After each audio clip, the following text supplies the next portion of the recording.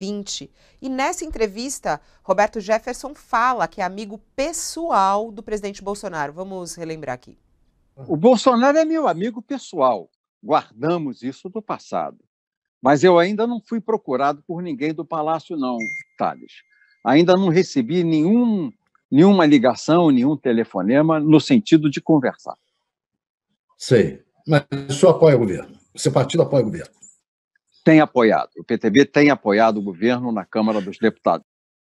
Tá, esse é um trecho, ele fala que é amigo pessoal, isso foi em 2020, né?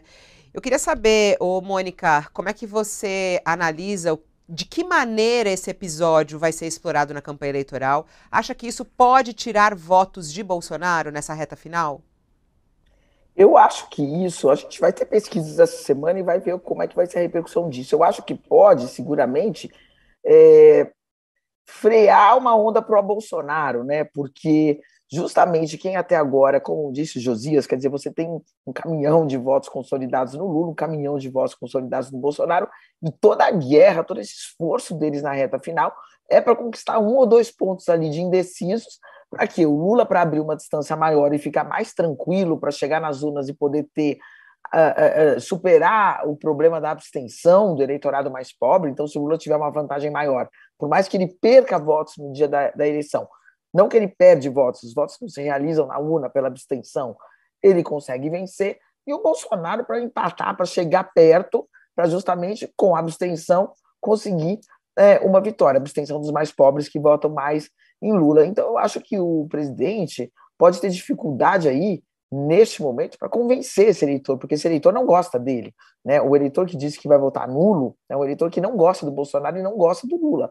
E não gosta do Bolsonaro justamente por ameaças à democracia, atitudes irresponsáveis na pandemia. Isso já foi é, é, qualificado em pesquisas, né? Por que, que as pessoas rejeitam o presidente da República? Não acreditam no que o presidente fala, não acham que ele teve uma boa condução na economia, ou seja, vem no presidente uma pessoa despreparada, né? É, como disse um aliado dele para mim, quer dizer, são pessoas que não querem um presidente arruaceiro, um presidente que fica brigando no meio da rua. E, e, e esse episódio, né, o Fabiola, reforça justamente este lado do presidente da República. Então, claro que aí, se não tira votos, impede que os votos que ele precisa conquistar venham para ele. Então, eu acho que é uma situação é, difícil para o presidente, precisa ver. Acho que a campanha do Lula deve falar disso, mas aposta muito também na, na repercussão natural que os fatos têm Sim. na mídia, né, para que eles repercutam Já. e influenciem o eleitorado.